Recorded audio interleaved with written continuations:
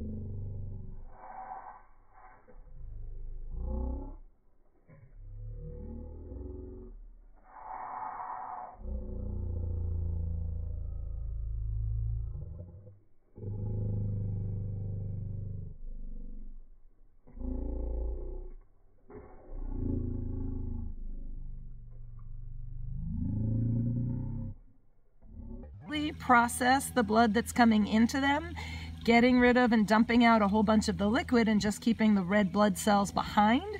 And so that way they can concentrate up their blood meal tremendously well.